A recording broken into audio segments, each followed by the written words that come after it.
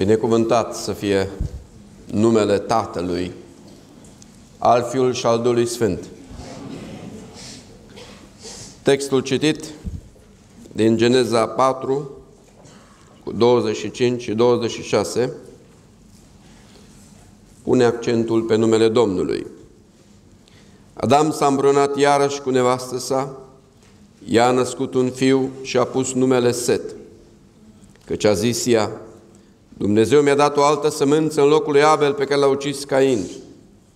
Lui Set i s-a născut și lui un fiu și a pus numele Enos. Atunci au început oamenii să cheme numele Domnului. De ce doar atunci? De ce nu mai devreme? Și cât timp a trecut de la nașterea lui Set până la nașterea lui Enos, când au început oamenii să cheme numele Domnului. Scriptura spune în Geneza 5, versetul 3, La vârsta de 130 de ani, Adam a născut un fiu după chipul și asemenea lui și a pus numele Set. Iar în versetul 6, la vârsta de 105 ani, Set a născut pe Enos. Deci de la nașterea lui Set până la nașterea lui Enos au fost 105 ani. Sora noastră cred că a fost cea mai longevivă din ultima perioadă, de 94 de ani. Până la 105 ani ar mai fi trebuit măcar 11 ani. Dar întrebarea mea este, de ce n-au chemat numele Domnului în cei 105 ani?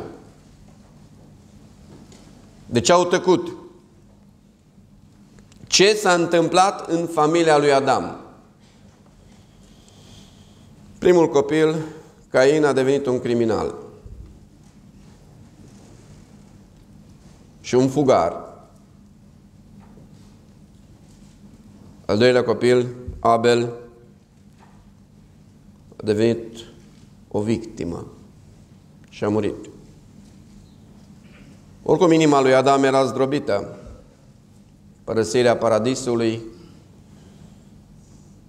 o condiție spirituală și socială net inferioară față de ce a avut în Eden. Dar tragedia aceasta a morții lui Abel l-a împietrit pe Adam.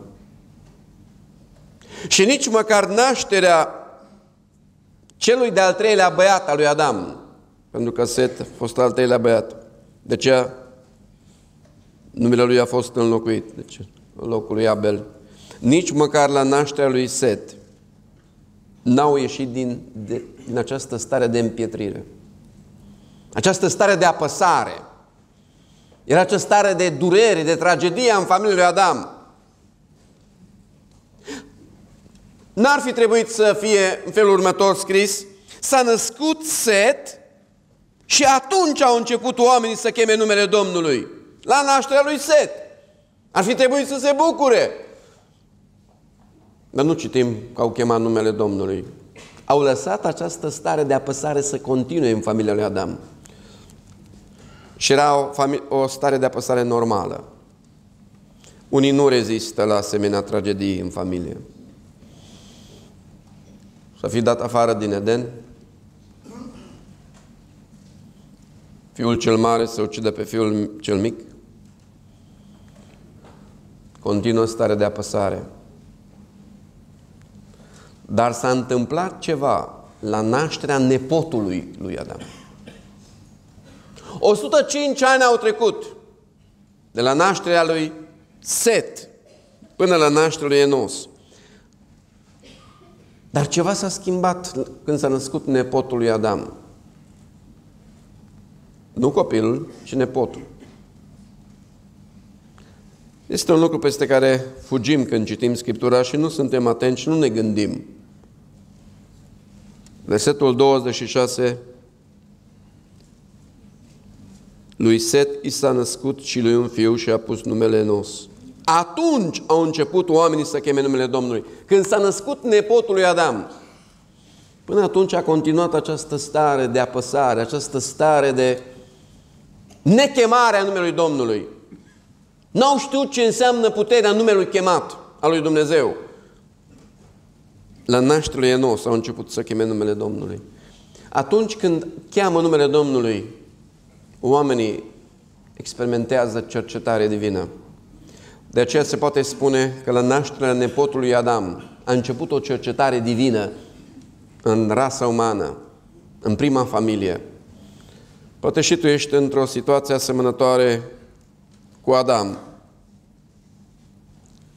Ești într-o stare de apăsare, tu și casa ta. Ești într-o stare de tristețe. Nu trebuie să se nască cineva ca să începi și tu să chem numele Domnului. Poți începând de astăzi. Așa să se scrie în dreptul tău, în dreptul casei tale, în dreptul vieții tale. În ziua aceea a început să cheme numele Domnului. Amin? Mesajul este despre puterea numelui. Și prima parte a mesajului să ne uităm la puterea numelui chemat. Pentru că acest nume trebuie chemat. Fratele Liviu Apolzan a vorbit despre numele descoperit lui Moise la rugul aprins. Este numele Dumnezeului legământului. Și contează să chem numele Domnului. Oamenii din vremea nepotului Adam au început să cheme. S-a schimbat.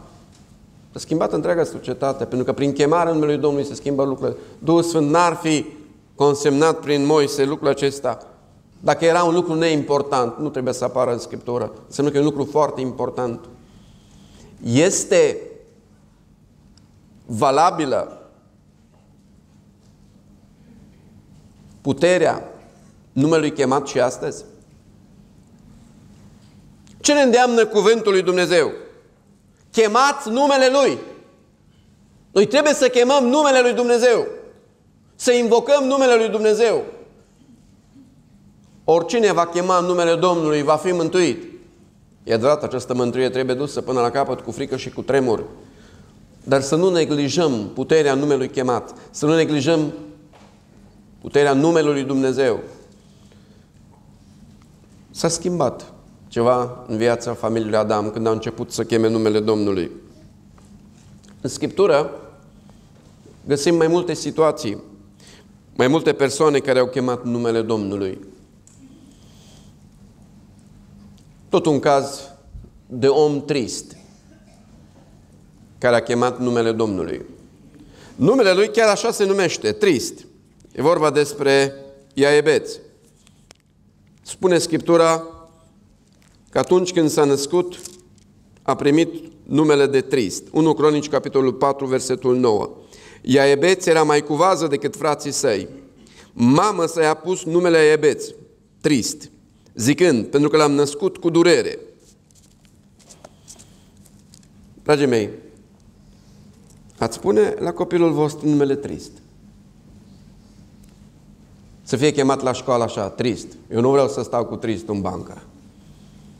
Sau la binecuvântare, printre multe nume frumoase și exotice și interesante. Păstorul când zice, să lumineze fața Domnului peste tine, tristule. Dar așa a primit numele, trist. Pentru că la evrei numele avea o semnificație. Fiindcă a fost născut cu durere. De ce l-a numit trist? Și a crescut, ea ebeți, cu acest trecut în suflet. Eu mă numesc trist. Eu sunt născut cu durere. Destinul meu este un destin trist. Și așa voi rămâne. Sau dacă ar fi fost fată să fie numită Trista.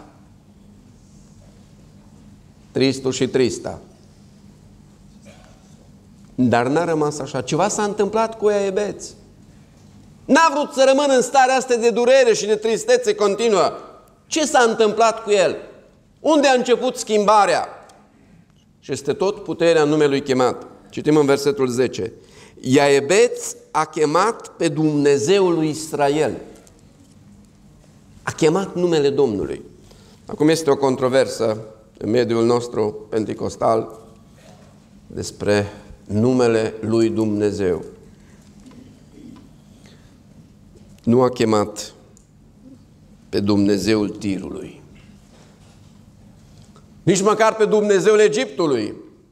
Era mai mediatizat Dumnezeul Egiptului. Nici măcar pe Dumnezeul dacilor nu a chemat pe ebeți. Dacă ar fi chemat pe Dumnezeul dacilor, tot trist rămânea. Acum unii vor să se reîntoarcă la Dumnezeul dacilor. Dacă ar fi chemat pe Dumnezeul egiptenilor, tot trist rămânea. Și tot într-o stare de amărăciune continuă rămânea. Dar a chemat pe Dumnezeul lui Israel. Pe Dumnezeul care a făcut cele și pământul. A chemat pe Tatăl Domnului nostru Isus Hristos. Singurul Dumnezeu adevărat. Dumnezeul Sfintelor Scripturi. Dumnezeul Vechiului Testament și a Noului Testament. Și alții cheamă numele multor Dumnezei, dar care nu sunt Dumnezei. Și chiar sunt unii impresionați. Unii cheamă ore în șir numele Dumnezeului lor. Sunt întâlniri religioase, de exemplu în India, unde vin foarte mulți la fluviul Gange, vin la diverse locuri sfinte. Unii mai și mor pe acolo. Îi cheamă numele Dumnezeului lor. Se închină. Plâng. Dar nici măcar emoția nu te ajută. Pentru că tu chem numele unui Dumnezeu care nu există. Tu nu chem numele Dumnezeului potrivit. Deci încă forma aceasta de religiozitate, de pioșenie, nu e suficientă. Nu este putere în acest nume. Este putere în numele Dumnezeului Israel. Nu este putere în numele altor Dumnezei. Chiar dacă ore în șir stau și cheamă, un milion de oameni cheamă numele unui Dumnezeu inexistent. Mulțimea nu trebuie să ne impresioneze. Păi uite, domnule, au fost un milion de oameni, s-au rugat, au chemat numele zeului Vișni sau alt zeu. Nu este putere în numele acesta. Este putere doar într-un singur nume. Numele Dumnezeului lui Israel. Și ce s-a întâmplat cu Iaebeț? A chemat numele acestui Dumnezeu și a zis, dacă mă vei binecuvânta și îmi vei întinde hotarele, dacă mâna ta va fi cu mine și dacă mă vei feri de nenorocire așa încât să nu fiu în suferință. A rămas fără răspuns faptul că a chemat numele lui Dumnezeu? Scriptura spune, și Dumnezeu i-a dat ce ceruse. Lăudați să fie Domnul. Dumnezeu i-a dat ce ceruse. Dumnezeu poate să-ți dea și, și, și ție. Chiar dacă ești ca și iaebeți. O situație de tristețe continuă. Tristețea e predominantă și amărăciunea. Cheamă pe Dumnezeu. Cheamă pe Tatăl Ceresc. Cheamă și tu pe Dumnezeul lui Israel. Strigă la acest Dumnezeu. Noi credem în puterea numelui chemat. Da, există acest nume, pentru că numele exprimă identitatea, numele exprimă autoritatea. Nu este doar o simplă invocare, ci este o credință în identitatea lui Dumnezeu, este o credință în autoritatea lui Dumnezeu. Eu chem numele lui Dumnezeu fiindcă eu cred că El există. Eu, eu chem numele lui Dumnezeu pentru că știu că El stă pe tron, El are autoritate. Trebuie să redevenim poporul care crede în puterea numelui chemat. Văzut exemplul lui Enos, exemplul lui Ebeț. Să luăm exemplu și în Noul Testament. În Marcu, în capitolul 10, vedem exemplul unui om care a chemat numele Domnului, a Dumnezeului întrupat. Marcu 10, de la 46 și în continuare. Au ajuns la Erihon și pe când ieșea Iisus din Erihon cu ucenicii săi și cu o mare mulțime de oameni, fiul lui Timeu, Bartimeu, un cerșetor orb, ședea jos lângă drum și cerea de milă. Eu nu știu cum cerea de milă, știu pe cerșetorii noștri cum cer. Se adresa oamenilor. Dar la un moment dat, N-a mai cerut bani. N-a mai chemat oamenii să primească bani. A auzit că trece pe acolo Isus. El a auzit că trece Isus din Nazaret și a început să strige, Isuse, fiul lui David, ai milă de mine! A chemat numele lui Isus. Isus, fiul lui David, exprimă regalitatea lui. Isus era descendentul celui mai iubit rege al lui Israel, regele David. A recunoscut că este pe linia regală. A recunoscut autoritatea. Chiar dacă n-a avut o deplină înțelegere a plinătății puterii numelui Isus, dar a strigat după acest nume. Iisuse, Fiul lui David, ai milă de mine. Poate și tu ești în această situație ca Bartimeu, cerșești în stânga și în dreapta, milă, clemență, ajutor și uiți să chem numele Domnului. Cel mai important nume pe care îl poți chema este numele Domnului. Mai sunt și astăzi oameni care să strige Iisuse, Fiul lui David, ai milă de mine? Sau pentru tine cerul este închis? Tu nu mai crezi în puterea numelui chemat. Tu crezi doar în numele terestre care trebuie chemate, numele terestre care trebuie sunate, în numele terestre la care trebuie să cer ajutor. Dar există o putere în numele chemat. Poporul nu l-a încurajat pe Bartimeu. Mulți îl certau să tacă. Hai că dacă vine unul la tine și te ceartă, mai rabzi. Nu ușor, nu ușor, că suntem generația care nu rabdă certarile. Dar să vină mulți la tine să te certe. Și asta este un detaliu. Ai putut să cedezi. Sunt oameni care nu te încurajează să chem numele Domnului și iau în derâdere ideea aceasta să chem numele Domnului. Și alții au chemat numele Domnului și nu i-a ajutat la nimic. Și vin cu tot felul de experiențe negative. Se încadrează în rândul acestor oameni care îl certau pe Bartimeu. Nu mai chema numele Domnului. Ce tot strigi după Isus? Ce tot strigi Iisuse fiul lui David? Taci din gură! Mulți îl certau să tacă și el tot mai tare striga, Fiul lui David, ai milă de mine! Vedeți că nu, nu trebuie să te oprești. Odată chem numele Domnului și gata. Ar trebui să învățăm de la Bartimeu această perseverență în a chema numele Domnului. Puterea numelui chemat cu perseverență. Această stăruință în a chema numele Domnului. Am chemat numele Domnului, nu a ajutat. Am chemat numele Domnului și așa au rămas. Dar cum a fost? Bartimeu a chemat numele Domnului și s-a oprit. A chemat numele Domnului până Domnul i-a răspuns. Știți cum trebuie să fim noi, dragi? Să chemăm numele Domnului până ne răspunde. Doamne, învață poporul Tău puterea numelui chemat. Ce vrei să-ți fac? Să-mi capăt vederea. Spuneți nevoia ta, cheamă numele Domnului și spuneți nevoia ta. Duhul Sfânt a călăuzit și timpul de rugăciune, s-a axat pe numele Domnului. Cântecele s-au axat pe numele Domnului. Vezi că Duhul Sfânt, fără să ne vorbim, n-am vorbit noi ce va fi la rugăciune, ce cântece va cânta corul, s-a legat astăzi ca un fir roșu numele Domnului. Din nou trebuie să chemăm numele Domnului. Din nou trebuie să chemăm numele Domnului cu perseverență, cu stăruință, până primim răspuns. Chemăm numele Domnului și ne exprimăm starea, nevoia. Doamne, vreau să văd. Iisuse, Fiul lui David, ai milă de mine. Iisuse, Fiul lui David, vreau să văd. Iisuse, Fiul lui David, aduc această situație înaintea ta. Dar ne oprim. Chemăm de două, trei ori, ne oprim. Știți până când trebuie să chemăm numele Domnului? Până primim răspuns. Vorbim despre puterea numelui. Primul rând am vorbit despre puterea numelui chemat. În al doilea rând să vedem puterea numelui care este mai presus de orice nume. Noi nu chemăm un nume important. Noi chemăm numele cel mai important. Noi nu chemăm un nume puternic, ci chemăm un nume atotputernic.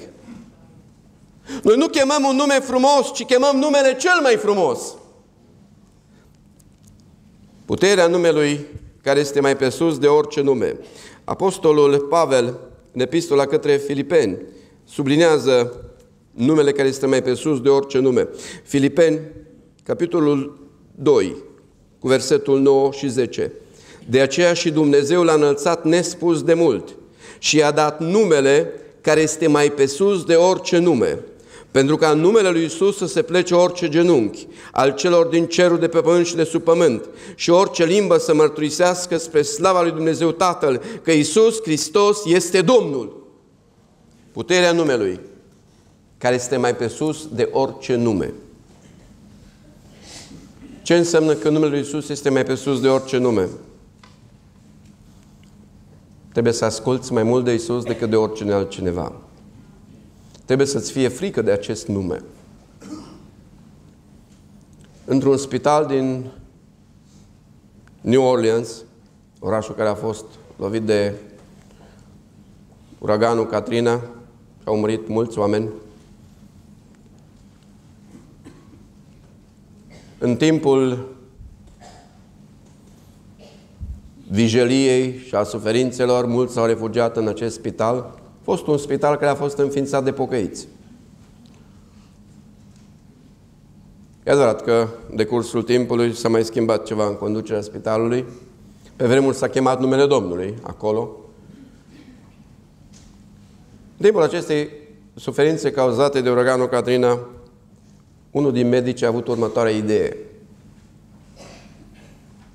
Ce ar fi să-i ucidem pe pacienții care sunt mai bolnavi, nu prea avem medicamente, nu prea avem hrană, nici lumină, dar a pus problema în felul următor. N-a zis să-i ucidem, a zis ce ar fi să-i eutanasiem.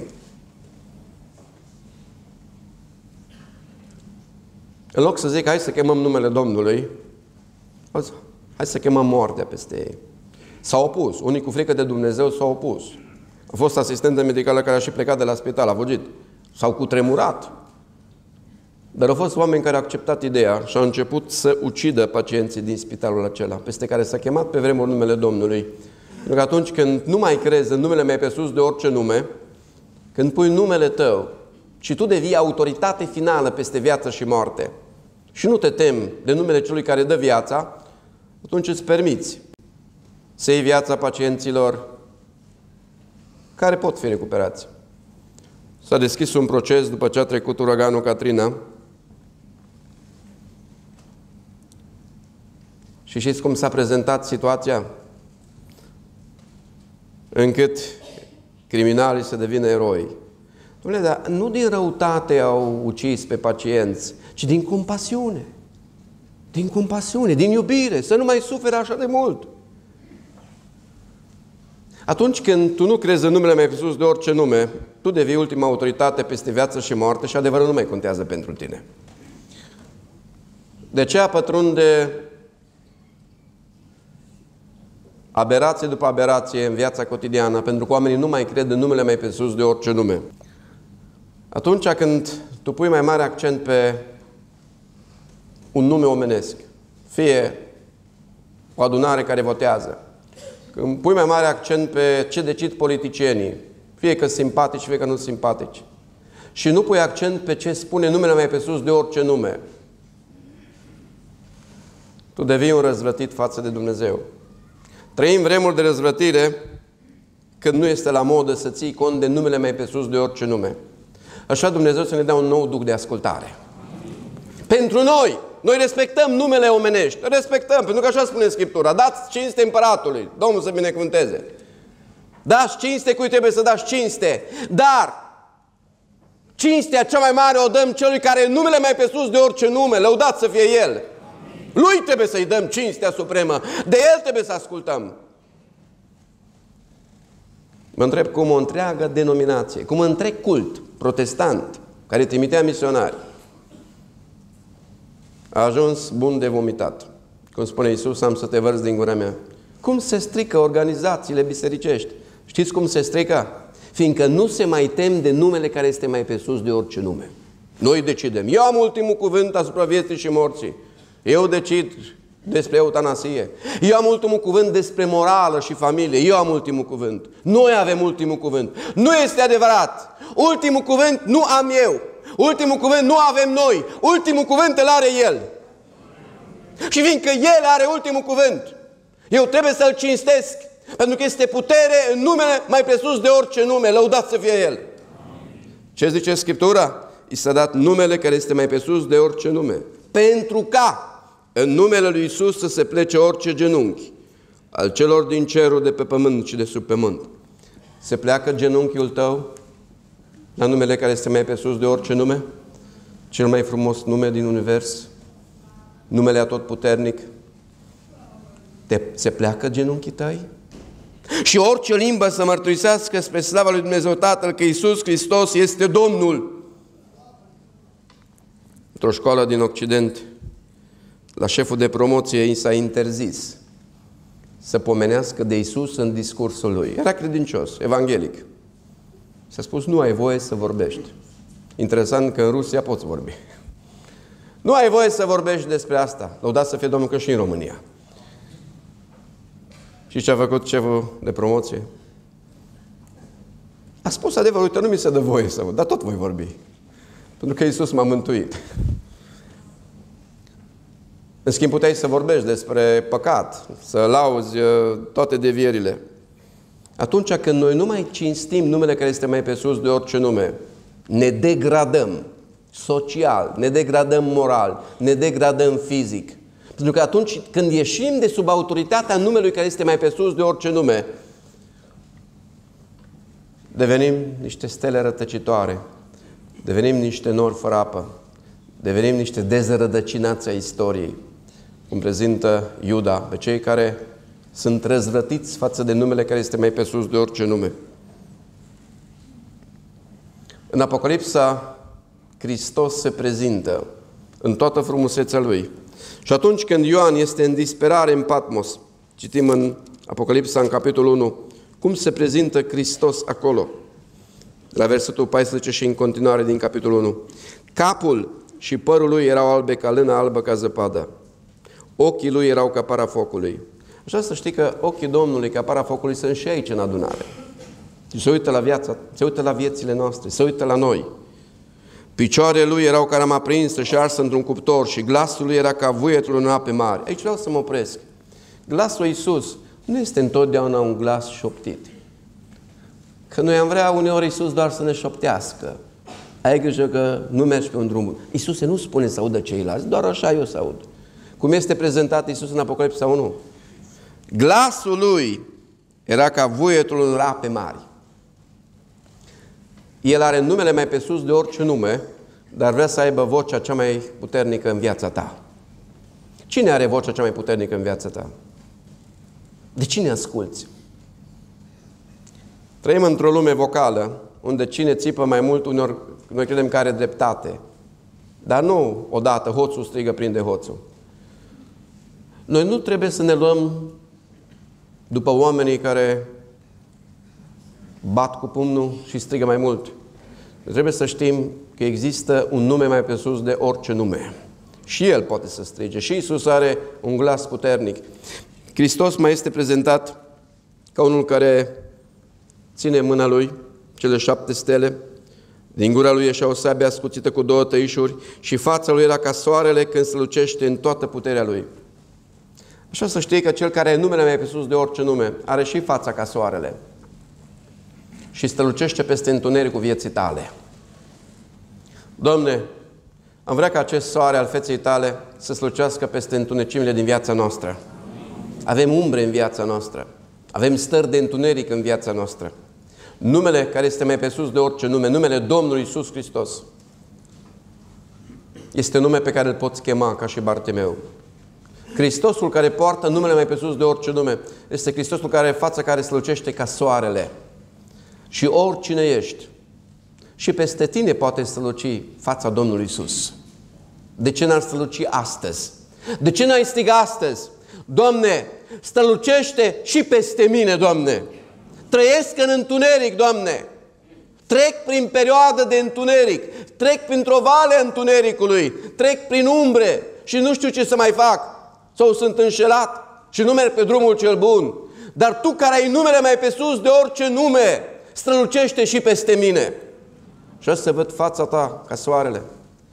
Și văzând fața ta să mă îndrăgostesc de tine și văzând fața ta să-mi văd întunecimea și peste întunecimea mea să strălucească fața ta. Ce a făcut Ioan? Când l-am văzut, am căzut la picioarea lui ca mort. Cel care numele mai presus de orice nume, nu doar că îți vorbește, nu doar că îi vezi fața, el vrea să se atingă de tine. El și-a pus mâna dreaptă peste mine. Lăudați să fie Domnul. Îi vezi fața, îi auzi vocea celui care numele mai presus de orice nume, dar el vrea să-și pună mâna dreaptă peste tine. Contează mult și atingerea în comunicarea globală. Nu doar comunicarea verbală contează, contează și comunicarea non-verbală, contează și comunicarea prin atingere, fie atingere de încurajare, fie de direcționare, sau orice alte forme pozitive de atingere. El și-a pus mâna dreaptă peste mine. Și din nou mi-a vorbit, nu te teme, eu sunt cel din tâi și cel de pe urmă. Este numele Domnului, cel din tâi și cel de pe urmă, adică alfa și omega în alfabetul grecesc, care are 24 de litere. Adică nu doar că am numele mai pe sus de orice nume, eu sunt începutul și sfârșitul. Tu poți să strigi la Cel care este alfa și omega, începutul și sfârșitul, în orice perioadă a vieții tale. Numai să mai ai glas, numai să ai credință să mai strigi. Cu unii se împetresc și nu mai strigă. Rămân ca în perioada dinainte de Enos, când oamenii nu chemau numele Domnului. Hristos se mai prezintă în felul următor. Cel viu, am fost mort și iată că se înviu în vece vecilor. Eu țin cheile morții și locuinței morților. Când se atinge Hristos de tine, nu te mai tem de moarte. El are cheile morții. Numele care este mai pe sus de orice nume are cheile morții. Milioane de dolari se pierd astăzi în cercetări privind prelungirea vieții umane. Și apar tot felul de concluzii fanteziste. S-a găsit formula sau sunt cercetători, omul va trăi până la 150 de ani, 200 de ani sau 300. Iar mai primesc un milion pentru cercetări, iar mai spun anumite... Cheile morții sunt în mâna Domnului. El are cheile morții. Numele mai pe sus de orice nume este stăpân peste moarte. Omul nu este stăpân peste moarte. Nu are cum să fie stăpân peste moarte, fiindcă plata păcatului este moartea. Moartea a pătruns în univers datorită deciziei noastre și rămâne până va veni Hristos și va face o lume nouă, o ordine nouă. Puterea numelui chemat, puterea numelui care este mai pe sus de orice nume. Hristos, în Matei 28, când se arată la muntele acela unde au fost trimiși ucenicii după înviere, le spune ucenicilor, nu în Ierusalim le-a zis Iisus lucrurile acestea, ci în Galileea, unde i-a chemat. Toată puterea mi-a fost dată în cer și pe pământ. Toată autoritatea este a mea. Adică eu am numele mai pe sus de orice nume. Toată puterea la ora actuală pe pământul României este a lui Hristos. Pe pământul oricărui stat este a lui Hristos. Pe întreaga planetă este a lui Hristos. De ce trebuie să fim cu fruntea sus? Noi nu suntem slujitori a unui fondator mort și rămas mort. Noi suntem slujitori al Hristosului cel viu. El are toată puterea în cer și pe pământ și El va judeca lumea cu dreptate. La nelegiuiți le merge bine, un timp, dar finalul nu va fi al lor. Finalul va fi al lui Hristos, care are toată puterea în cer și pe pământ. Fie mondial, fie județen, fie universal, indiferent ce poreclă ai avea, timpul tău este limitat. Timpul fiecare este limitat. Ultimul cuvânt îl are Hristos. Unii trăiesc pe acest pământ crezând că ei au toată puterea în cer și pe pământ, că pot cumpăra pe toată lumea. Timpul lor este limitat. Hristos are toată puterea în cer și pe pământ. Trăiești în felul acesta? Sau tremuri în fața oricărui nume mai răsărit? Tremur, se frică. Hristos a zis, nu te teme. Nu te teme. Eu sunt stăpânul. Atunci când tu iei în serios numele mai pe sus de orice nume, viața ta se schimbă radical. Dispare teama din viață. Primești o nouă încredere, o nouă putere, o nouă voință, o nouă gândire, o nouă emoție. Pentru că te raportezi la numele mai pe sus de orice nume. Doamne, vrem să ne plecăm genunchi înaintea numelui mai pe sus de orice nume. și vrem să-i mărturisim numele și vrem să ne schimbăm stilul de viață. Al treilea rând, puterea numelui, după ce am văzut puterea numelui chemat, puterea numelui care este mai pe sus de orice nume, treilea rând și în ultimul rând, vrem să vedem puterea numelui care ne călăuzește pe cărări drepte. Este un aspect din Psalmul 23 despre care nu vorbim des. Pune mare accent că Domnul e păstorul nostru care are grijă de noi. Dar în versetul 3 din Psalmul 23, partea a doua, spune în felul următor. Și mă povățuiește pe cărări drepte din pricina numelui Său. Acest păstor, păstorul meu, păstorul cel bun, ne călăuzește pe cărări drepte, dar nu fiindcă noi merităm. Vrem cărări drepte în viețile noastre. Nu merităm aceste cărări drepte. Nu spune, mă, că mă povățuiește pe cărări drepte din pricina meritelor mele. Nu scrie în Psalmul 23, mă povățuiește pe cărări drepte din pricina meritelor tatălui meu. Nu spune, mă povățuiește pe cărări drepte din pricina meritelor rabinului sau păstorului. Nu, nu. Mă povățuiește pe cărări drepte din pricina numelui său. Lăudați să fie acest nume. Puterea numelui care te călăuzește pe cărări drepte. Și nu este singurul loc din psalm unde se evidențiază acest adevăr. În psalmul 31, versetul 3, partea a doua spune în felul următor. Și pentru numele tău mă vei povățui și mă vei călăuzi. Ce mintea psalmistului era acest adevăr. Călăuzirea în viață, povățuirea în viață, umblarea mea pe cărări drepte este din pricina numelui său. Eu trebuie să respect acest nume. Trebuie să binecuvântez acest nume. Nu trebuie să iau în deșert acest nume. Trebuie să onorez acest nume. Trebuie să mă tem de acest nume. Când este o ispită, eu mă tem de numele Domnului. Mă tem. Îi dau respect. Ce înseamnă că te povățește pe care drepte din pricina numele Său? Înseamnă că acest nume al Domnului, dacă apelezi la El, te poate îndrepta de pe cărări strâmbe pe cărări drepte. Și chiar astăzi, dacă ești pe cărări strâmbe, strigă după numele Domnului, cheamă acest nume al Domnului cu pocăință, să se îndrepte cărările. Doamne, îndreaptă-ne cărările. Vezi dacă suntem pe cărări strâmbe, și dune pe cărări drepte din pricina numelui tău. Iona a apucat pe cărări strâmbe, da, era proroc al Domnului, dar lui plăceau misiunile după placul inimii lui și atât. El credea că el este ultimul nume. El este punctul de reper și Dumnezeu trebuie să fie doar slujitorul lui, nu invers. Și a apucat-o pe cărări strâmbe. Nu s-a dus unde trebuia.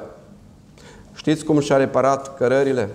Citim în Iona, în capitolul 2, versetul 2, și a zis, în strâmtorarea mea am chemat pe Domnul și m-a ascultat. Din mijlocul locuinței morți am strigat și mi-a auzit glasul.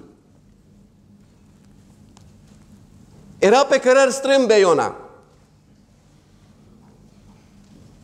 Ce a făcut? Să-și îndrepte cărarea a chemat pe Domnul. Și numele Domnului aici este numele de Iahve, Dumnezeul legământului, Dumnezeul care s-a descoperit lui Moise în rugul aprins. A chemat pe Dumnezeul care este, pe Dumnezeul cel veșnic, pe Dumnezeul care își ține legământul. Să nu uităm că noi suntem într-un legământ cu Domnul Isus. Și suntem datori să respectăm acest legământ. Suntem datori să umblăm în puterea acestui legământ. Există putere în legământul făcut cu Isus. El ține legământul, lăudat să fie El. Și dacă noi ne-am îndepărtat și nu ne-am respectat legământul cu Isus și suntem pe cărări strâmbe, este vremea îndreptării pe cărări drepte din pricina numelui Său. Este vremea să ne îndreptăm cărările. Și fiecare dintre noi să strige la Domnul astăzi și să se întrebe, Domne, ce cărări trebuie să, mă, ce cărări trebuie să îndrept?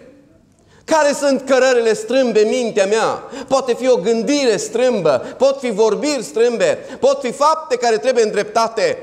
Mă povățuiește pe cărări drepte din pricina numelui Său. Nu-i suficient doar cu puterile tale. Bazează-te pe numele Domnului. Cheamă acest nume. Temete de acest nume. Laudă acest nume. Fălește-te cu acest nume. Trebuie să revenim la acea vreme în care să tremurăm în fața numelui Domnului, dar nu un tremur din acesta ca și oamenii care tremură în fața fulgerului și un tremur de respect. Preobiții mei, l-a ascultat Domnul pe Iona, a strigat la Domnul și tot capitolul 2 este strigătul lui Iona, care era pe cără strâmbe. Spune în versetul 6, Dar Tu m-ai scos viu din groapă, Doamne, Dumnezeul meu. Eu însă îți voi aduce, versetul 9, îți voi aduce jertfe cu un strigă de mulțumire. Voi împlini juruințele pe care le-am făcut. Mântuirea vine de la Domnul. Să nu uiți când Domnul îți îndreaptă cărările. Să nu uiți să mulțumești. Să nu uiți să lauți pe Domnul. Cred că ar trebui să strigăm și să postim și să plângem pentru noi, pentru cei apropiați nouă, pentru biserică, pentru biserici. Doamne, îndreaptă-ne cărările. Îndreaptă-ne. Merite nu avem. Nu-și cerem pe baza meritelor noastre să ne îndrepți cărările. Și știm din Psalmul 23 că este o putere într-un nume. Tu ne îndrepți cărările din pricina numelui Tău. Și fiindcă suntem în legământ cu Isus, putem invoca numele lui Isus, pentru că este putere în numele acesta lui Isus, o putere care nu există niciun alt nume. Dacă doi sau trei sunt adunați pentru numele Lui este acolo. Orice veți cere în numele meu voi face. Folosim acest nume, trăim în puterea acestui nume sau cerul este gol de rugăciunile noastre. Nu sunt mijlocitori. Cărele noastre sunt strâmbe și rămân strâmbe. Le cosmetizăm și atât. Reușim. Pentru că suntem maestri în a cosmetiza. Dar Hristos zice, ai cărări strâmbe, în fața mea nu poți să le cosmetizezi. Fie astăzi strigătul acesta la inimii pentru fiecare, fiecare pentru sine și pentru cei dragi, pentru biserică și biserica lui Dumnezeu. Doamne, îndreaptă-ne cărările. Și pentru asta noi avem un singur nume pentru care să faci. În numele Domnului. Datorită numelui Domnului Isus. Adu îndreptarea cărelor pentru fiecare membru din biserică datorită numelui lui Isus, adu îndreptarea călor pentru fiecare aparținător al bisericii. Doamne, datorită numelui lui Isus, adu îndreptarea cărărilor pentru fiecare om care a venit în casa lui Dumnezeu și vrea să-și îndrepte cărările. Suflete drag, ți-ai dat seama? Hristos are numele mai pe sus de orice nume. Și în numele Lui se pleacă orice genunchi. În numele Lui este mântuire. Spune așa în faptele apostolilor, nu este sub cer niciun alt nume dat oamenilor decât numele Lui Isus. Mântuirea este în numele Lui Isus. Tămăduirea este în numele Lui Isus. Îndreptarea cărărilor este în numele Lui Isus pentru cei care trăim în nou legământ. Trăim noi bazați pe puterea numelui sau neglijăm acest nume? Sau nu ne pasă de acest nume? Nu trăim în puterea numelui. Nu trăim în puterea numelui chemat. Nu trăim în puterea numelui mai pe sus de orice nume. Nu trăim în puterea numelui care călăuzește pe cărări drepte. Domnul Iisus Hristos, atunci când a fost în această dilemă, să bea paharul amar al crucii sau să nu bea acest pahar amar al crucii. A fost la răscruce. Știți ce nume a chemat? A chemat numele Domnului. Și tot în Evanghelia după Marcu, vedem care nume al Domnului l-a chemat. Marcu, capitolul 14, cu versetul 36. El zicea, Ava, adică Tată, ție toate lucrurile țin cu putință. Depărtează de la mine paharul acesta, totuși facă să nu ce voiesc eu și ce voiești tu. Ava este un cuvânt în limba aramaică, în limba pe care a vorbit-o Iisus, limba Nazaretului. Nu era limba cărturarilor, aramaica. În aramaică, Ava înseamnă tătic. Hristos a chemat numele tăticului ceresc, Ava. Pentru Hristos a fost cel mai dulce nume din lexicul lui, din vocabularul lui Iisus. Cel mai dulce nume a fost acesta. Cuvântul în aramaică Ava, tată, tăticule. Tată, ție toate lucrurile țin cu putință, depărtează paharul acesta, totuși facă să nu ce voiesc eu și ce voiești tu. Doamne, dacă se poate, îndepărtează paharul. A chemat numele Domnului pentru călăuzire, a zis totuși facă-se nu ce voiesc eu, ci ce voiești tu. Și Ava, tăticul ceresc, l-a călăuzit pe Isus pe cărări drepte din pricina numelui Lui. Până și Isus a chemat numele Domnului pentru călăuzire dreaptă. Acolo în Ghețimane a fost dilema să beau paharul sau să nu beau paharul. Nu suferința fizică a fost Problema a fost paharul păcatelor, Hristos era sfânt. Acest pahar al nelegiuirilor era problema care l-a păsat pe Iisus. Cel sfânt să se unească cu nelegiuirea, să moară în locul nostru și pentru noi. Și în Ghețimanii a primit răspuns, a primit călăuzirea pe care drepte din pricina numelui Domnului. Preobiții mei, e vremea să le descoperim puterea numelui. Să fim o biserică care descoperă puterea numelui puterea numelui chemat. Pe vremea lui Enos au început să cheme numele Domnului. S-a schimbat. Prin chemarea numelui Domnului nu mai rămâi la fel. A fost o chemare colectivă a numelui Domnului. Atunci este o schimbare la nivel colectiv. Este puterea numelui care este mai pe sus de orice nume. Și atunci nu mai tremuri în fața oamenilor. Dai cinste oamenilor, dar știi că trebuie să asculți în mod absolut doar de numele care este mai pe sus de orice nume și să redescoperim puterea numelui care ne călăuzește pe care drepte din pricina numelui Său. Și în rugăciunea final, să lăudăm acest nume și să strigăm, Doamne, îndreaptă-ne cărările. Îndreaptă-ne cărările. Doamne, îndreaptă-mi cărarea mea. Doamne, îndreaptă cărarea celor dragi mie. Doamne, îndreaptă cărarea fraților mei din biserică. Doamne, îndreaptă cărarea bisericilor. Doamne, îndreaptă-ne cărările din pricina numelui Tău. Amin.